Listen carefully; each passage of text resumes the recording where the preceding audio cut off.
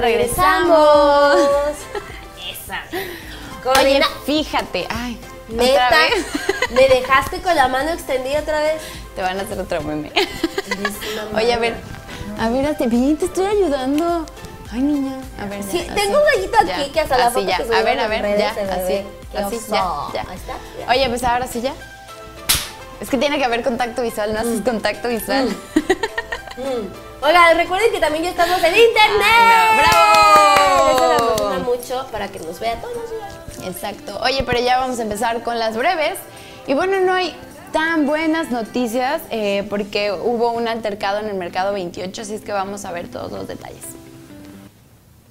Y bueno, aproximadamente alrededor de las 9.21 del domingo fue reportado a través del número de emergencias un asalto pues a una casa de cambio ubicada en el mercado 28 con el nombre Money Exchange. Bueno, lamentablemente un guardia de seguridad intentó impedir este asalto y sin embargo perdió la vida minutos después en uno de los pasillos debido a los disparos que pues le dieron de arma de fuego. En el lugar resultaron heridos dos personas con iniciales CGG de 32 años de edad y JLK de 16 años de edad, quienes fueron trasladados al seguro de la Cobay más tarde al Hospital General de Cancún. Este joven de 16 años fue lesionado en el área de la axila y el hombre de 32 años presenta daños en el hipogástrico sin orificio de salida, por lo cual tuvo que ser intervenido de manera quirúrgica y hasta el momento no se sabe del paradero de los asaltantes ni del monto de lo robado. Sin embargo, se presume que uno de los agresores huyó en la moto del guardia de seguridad mientras que sus cómplices pues lo estaban esperando a bordo de un taxi. Este lamentable suceso, este asalto a mano armada cobra la vida pues de una persona que estaba trabajando de seguridad pues dos personas más que están heridas. Mira, yo creo que yo quiero ah, dar notar el movimiento oportuno de nuestras autoridades porque claro, se están haciendo investigaciones, ahorita no hay muchos datos del paradero, pero seguramente eh, van a poder tener, bueno, más información sobre todo sobre estas personas y esperemos que también pues los atrapen y pues sí, lamentablemente el suceso. eh, y ahora sí que tampoco sabemos hasta el momento eh, qué ha pasado con los, con los dos heridos, el joven y el señor que, que pues los intercedió una, una, pues vaya, una bala perdida, bala digámoslo así. Y pues bueno, por lo pronto hay que estar pendiente de las investigaciones y de lo que puedan decir las autoridades, también en el estado de salud que se encuentran estas dos personas que también no tenemos mucha información al respecto. Esperemos estén bien, se estén recuperando de la mejor manera posible. Y pasemos con la siguiente nota porque están presentando, fíjate yo, es una iniciativa para proteger los datos. Ay, qué bueno, vamos a ver esto.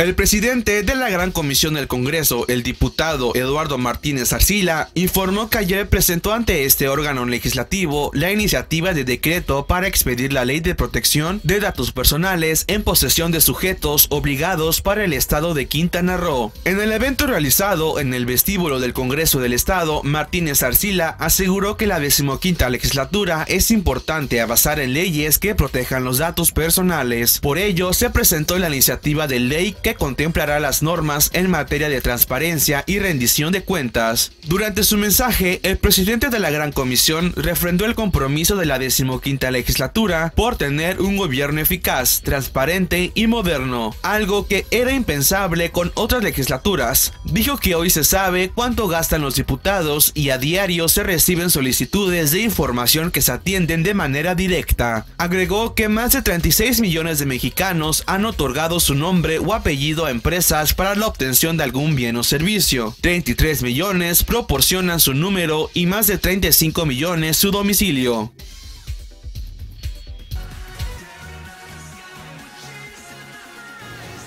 Yo lo tengo que decir, yo solo pongo mi número o doy mi número cuando es servicio a domicilio de comida, porque si se pierde tienen que marcar, pero cuando es en internet, no. No, nada. Mayormente ahorita está Pero ni, el- ni en el gobierno ni algo así como papeleo. El papeleo sí. Bueno, cuando es el mira, gobierno cosas gubernamentales, sí. Pero con, con tu, tu cuenta en Netflix o Facebook o cosas así que también Ah, no. te lo piden, no lo hago. Y son súper sí es insistentes. fácil- Sí, es muy fácil conseguirlo. Ni en mi verificación de mi página, o sea, mi, mi arroba Gmail, o sea, mi correo, tengo un número puesto. No sé, ahí sí como que me da nervios. Yo siento que Creo te rastrean. No, sí, mira, creo que es un tema delicado y estamos hablando del Internet y seguimos hablando de esta revolución de los medios, las redes sociales inclusive.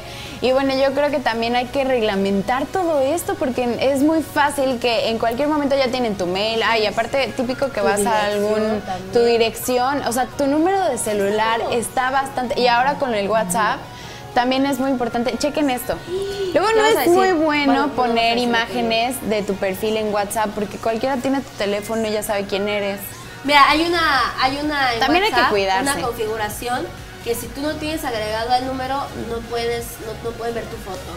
Pero también el fin de semana estuve leyendo una nota de una actualización que quiere hacer WhatsApp que se supone, no sé qué tan cierto sea o qué tan rápido lo hagan, que ya van a poder ver tu ubicación.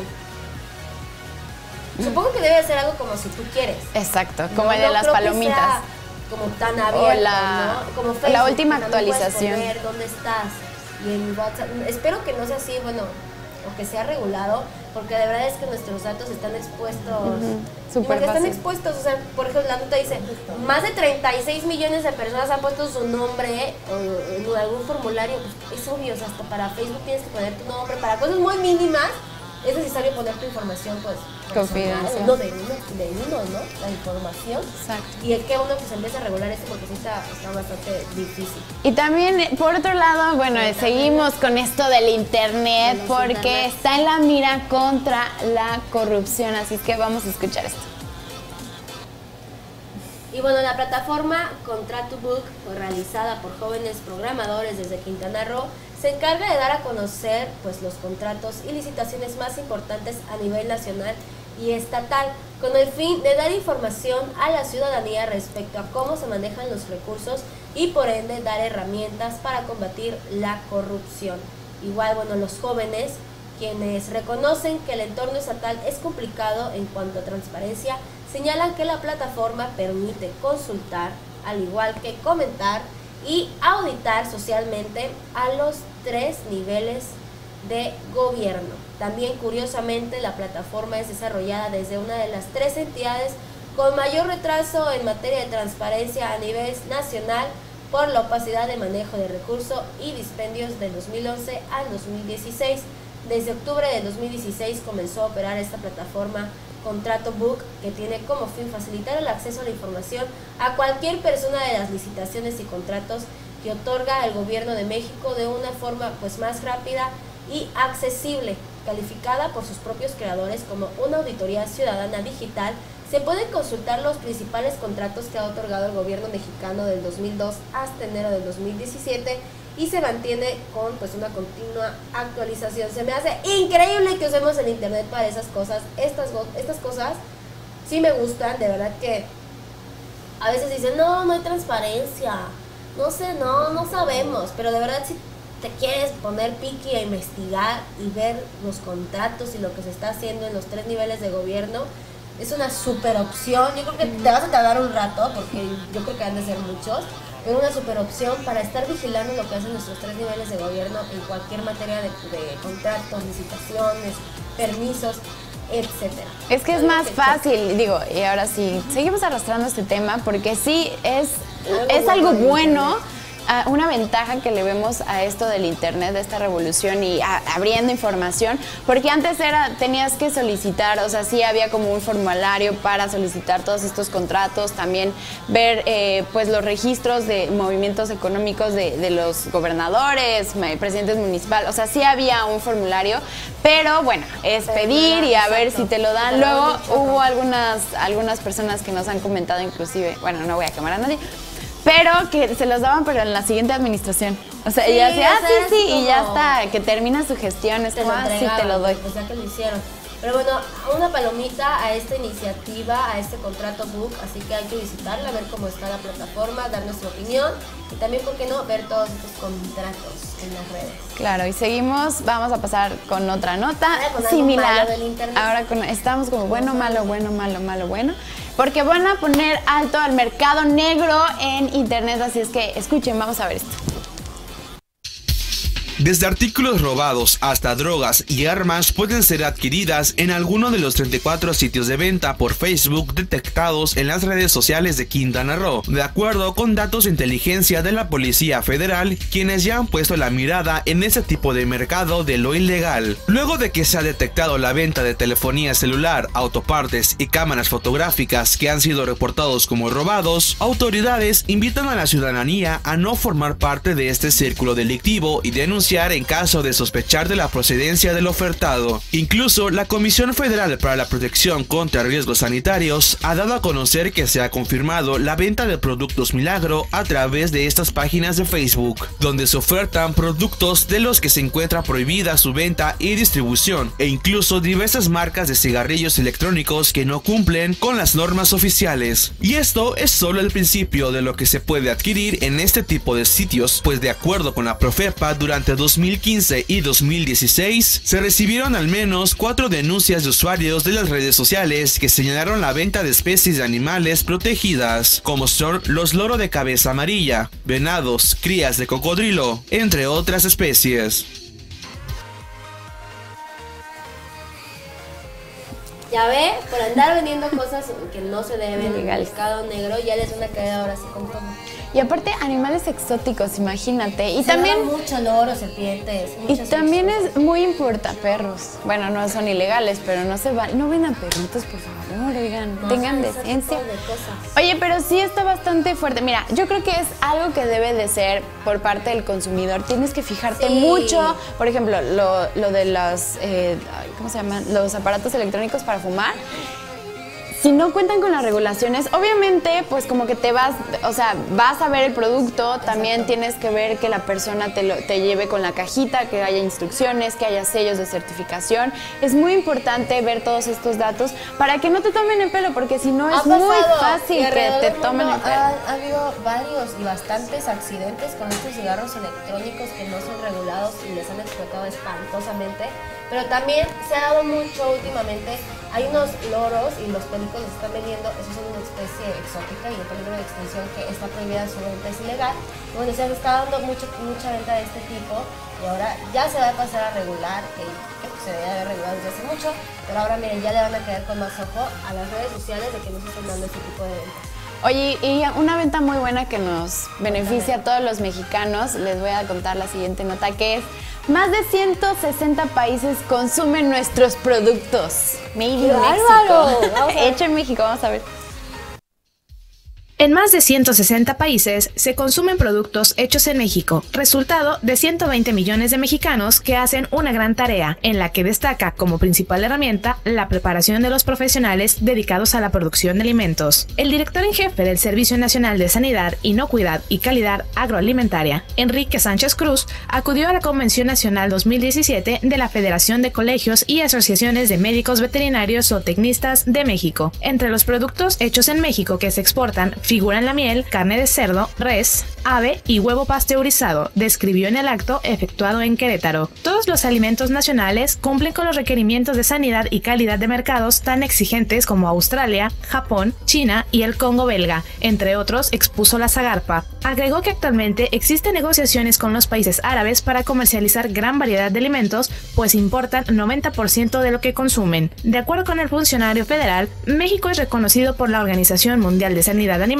como uno de los cinco países libres de las seis enfermedades de animales más peligrosas del mundo.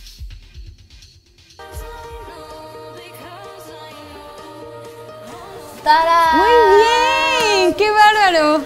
En México. Oye, ¿por qué me pegas? A ver, a ver. La a ver. dispersa. No, Para que se le quite lo Es que miren, no, no, está- no saben lo que pasa aquí, es eso y no les vas a contar, es eso, pero no, no es de que esté dispersa, es que aquí ya hay invitados Es que hay se querían meter, como que Así no. de yo quiero salir a cuadro, no. Pero lo No corrí, puedes, no así, perdón, lo corrí, entonces por eso la risa. Oigan, pero si no me equivoco ya nos damos un cuarto, Sí. ¿verdad, Pedro? No. ¡Ah, La efeméride! Hoy, hasta que digamos un día como hoy, de 1935, se pone a la venta el juego Monopoly. Oye, ese juego me encanta, es un juego te voy a eterno. contar. A ver, cuéntame, ¿qué pasa? Fíjate que bueno, se pone a la venta este juego de Monopoly. Charles Darwin durante la Gran Depresión de los años Mm. 30 patentó la versión de Atlantic City de este juego con el nombre Monopoly. Inició una producción a pequeña escala del juego que resultó pues bastante exitosa, pero la autora original es Elizabeth Maggie en 1903 y el origen del Monopoly como evolución de los juegos anteriores ha sido incluso reconocida por los tribunales estadounidenses en el caso de Baker Raphael Ralph ¿qué? A ver, ¿qué mandaste? Ralph Anspach. No es que no sé cómo se dice, no sé cómo se dice. Durante el largo proceso judicial ocurrido entre 1975 y 1986 a raíz de la publicación de un juego de mesa titulado Anti-Monopoly. Actualmente, Hasbro organiza regularmente campeonatos estadounidenses y mundiales de Monopoly. Qué increíble. Mundiales de Monopoly. Qué bárbaro. Deja, a ver, dejan Flaminguín. Está increíble y ahí está. Creo que no ha cambiado muchísimo en su imagen. O sea, siempre, siempre. ¿Qué? Que es el juego que No. se encarga de separar a las familias. sí, sí. No, no se encarga de nada. Yo jugaba la versión de- mexicana.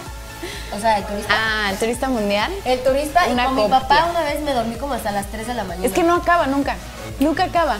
Ah, Ah, ya. Ah, ya se te pegó lo de Joshua. A ver, dame. Ya está visca la Ya dame a Flamingo. Porque sabes que te voy a pegar. Y esto Mejor vámonos un corte comercial y ahorita regresamos, no se mueva, todavía tenemos mucha más información.